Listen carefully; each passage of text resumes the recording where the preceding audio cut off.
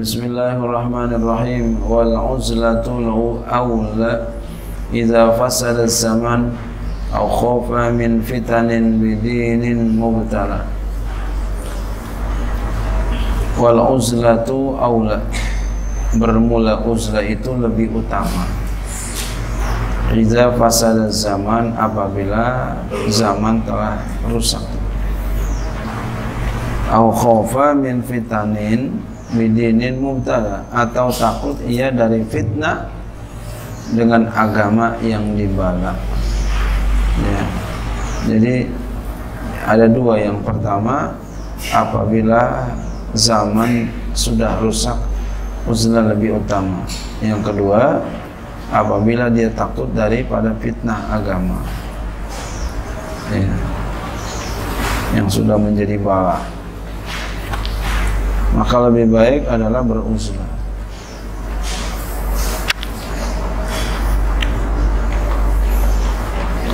yang benar jadi salah yang salah jadi benar orang banyak mabuk dengan dunia Padahal dia dipanggil dengan panggilan pangkat mulia dalam agama.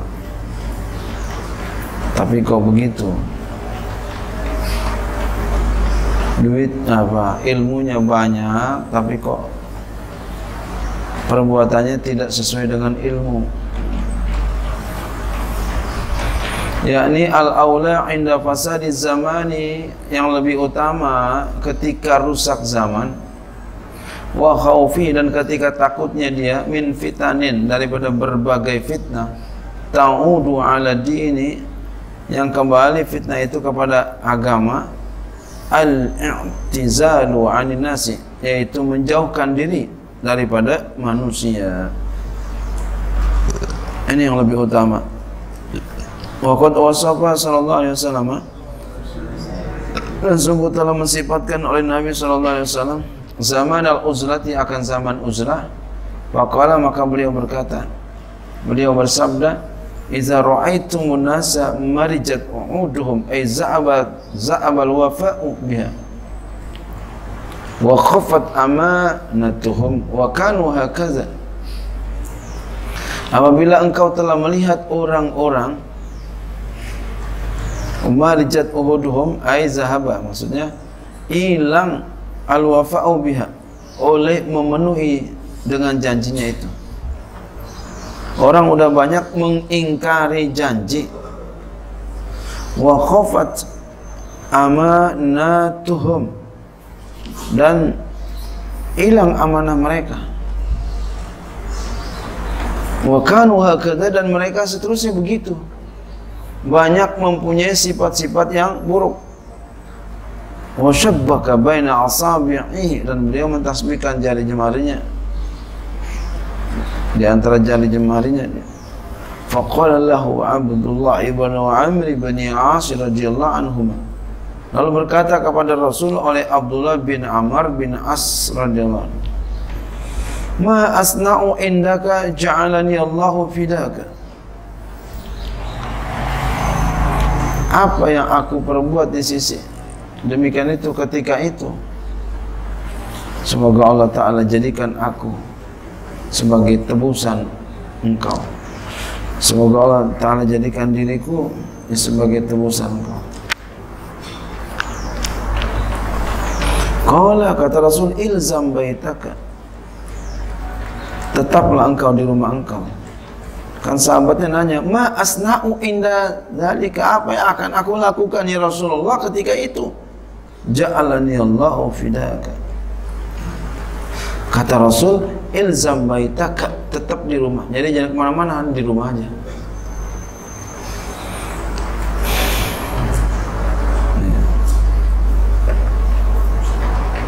Enakan begitu deh ngurusin ini ngurusin itu di rumah aja udah. Jangan ke mana-mana udah.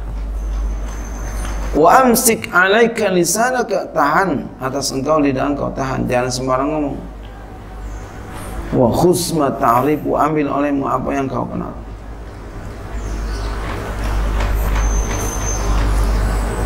Wa da'ma tunkiru ingkarkanlah apa yang kau ingkarin. Tinggalkanlah apa yang kau ingkarin. Da biarkanlah apa yang kau ingkarin biarin wa alaika bi amril khasi lazimkan olehmu dengan perkara yang khusus yaitu ya kamu punya urusan kerjaan yang enggak bisa ditinggalkan kecuali oleh engkau. Wada'an ka amrul ami amati. Dan tinggalkanlah daripada engkau perkara yang umum. Orang bisa kerjain biarin orang aja. Wa wasafa sallallahu alaihi wasallam zalika az-zamana fi haditsin akhar dan telah mensifatkan demikian itu zaman pada hadis yang lain fi hadis in akhra bi ana dengan bahwasanya beliau bersabda hina la ya'manu rajulu bi jalisahu. Ketika orang enggak merasa aman dengan teman duduknya.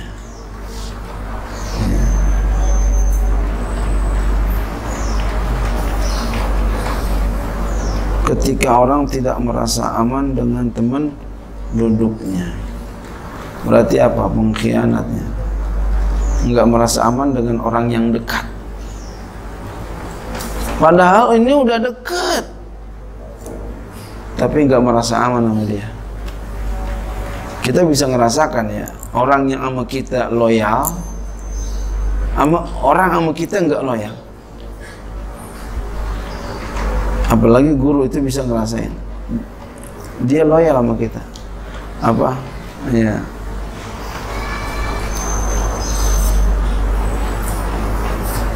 orang itu cinta sama kita enggak cinta kita bisa rasakan. Duduk bersama jalan bersama kita bisa rasakan.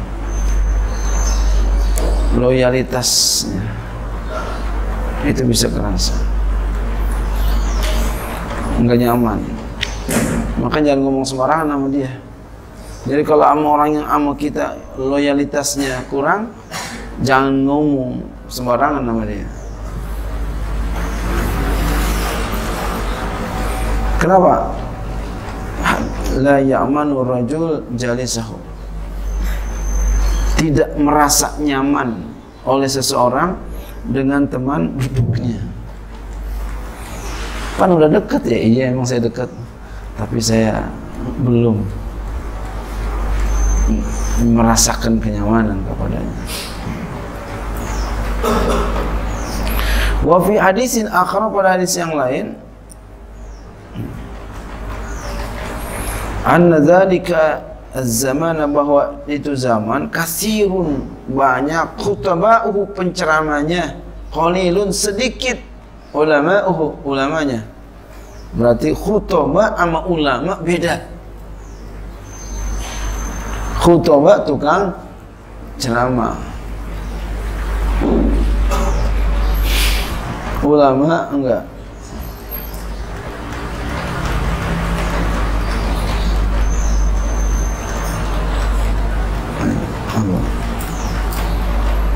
banyak khutbahnya sedikit ulamanya. Penceramanya banyak tapi ulamanya sedikit. Ulama itu siapa? ulama itu orang yang takut kepada Allah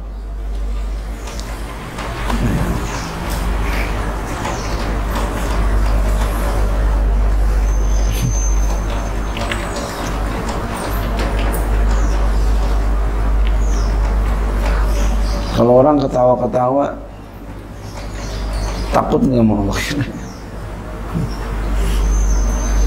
Enggak semua, tapi kebanyakan enggak lupa sama Allah.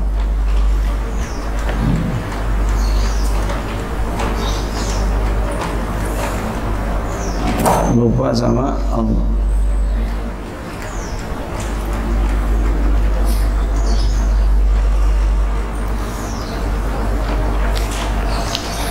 Maka Habib Munzir beliau pernah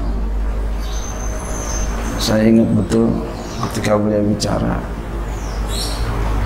Kenapa? Katanya kata beliau kenapa saya tidak ucapkan ini? Saya takut kamu ketawa. Masya Allah. Saya takut kamu ketawa ketika saya ucapkan kalimat ini.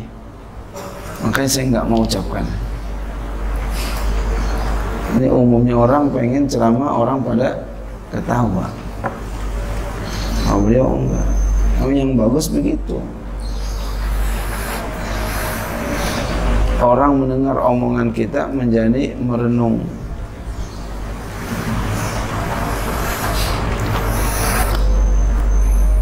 Jadi beda itu khutbah dengan ulama.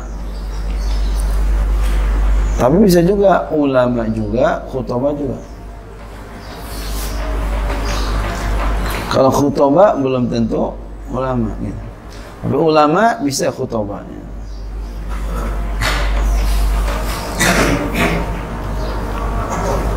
Ini biar melek mata kita nih. Biar dengar telinga kita nih. Biar hidup hati kita nih. Jangan kamu pejamkan ini. Jangan sampai kamu jadi penceramah nanti umpama kita kan nggak tahu. Kali ada yang terkenal gitu ya.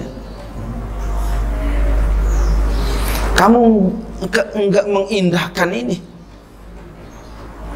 Kamu cuek aja ini. Kamu terabas saja. Jangan sampai.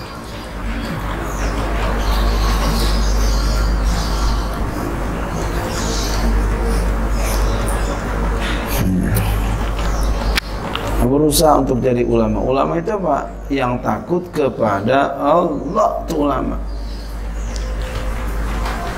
Jadi ulama itu orang yang takut kepada Allah. Usahakan takut. Kasirun su'alu qalilun mu'tu. Yang yang, yang banyak bertanyanya. Banyak orang bertanya, sedikit yang memberikannya. Yang tahu dikit al-hawa fi qaidul ilmi hawa nafsu pada waktu itu menjadi penuntun ilmu. Jadi bukan ilmu yang nuntun tapi ilmu dituntun sama hawa. Innalillah.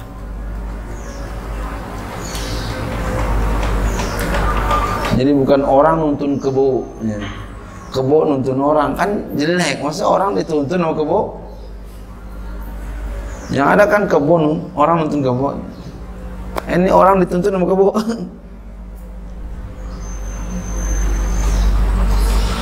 Wa mata zalika kapan itu ya Rasulullah? Qala idza umitati salatu wa qubilatiz rasha wa yuba'u dinu bi'aradin yasirin minad dunya fan naja wa ya'aka summa naja yaitu apabila salat sudah ya mati. Sholat sudah mati Maksudnya orang nggak pada ngerjain sholat. Aku bilatir rosya Dan diterima. Uang sogok. Wayuba din Dan dijual agama. Bi'aradin yasirin Dengan Barang dagangan yang sedikit mina dunia daripada dunia. Rela demi proposal tembus. Ya. Dikorbankan prinsip ilmu agama. Yang penting proposalnya tembus satu triliun setengah. Ya.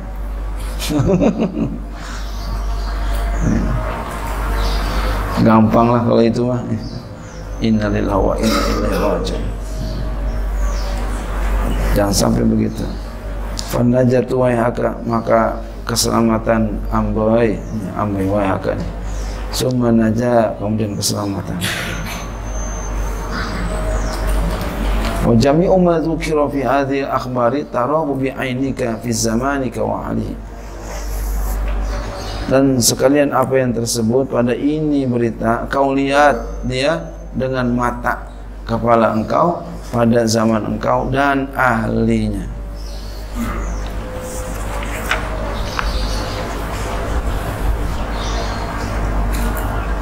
Ya. Ini kata beliau, tarahu bi'ainika akan engkau lihat nanti dengan mata engkau. Dan sekalian apa yang tersebut pada kabar-kabar ini engkau akan lihat dengan kemata kepala engkau di zaman engkau dan ahlinya. Ya. Jadi beliau mengatakan ini, kita baca ini ternyata benar. Banyak orang yang tertipu dengan dunia. Mudah-mudahan Allah selamatkan kita. Amin ya rabbal alamin. Wallahu a'lam bishawab wa an sayyidina Umar.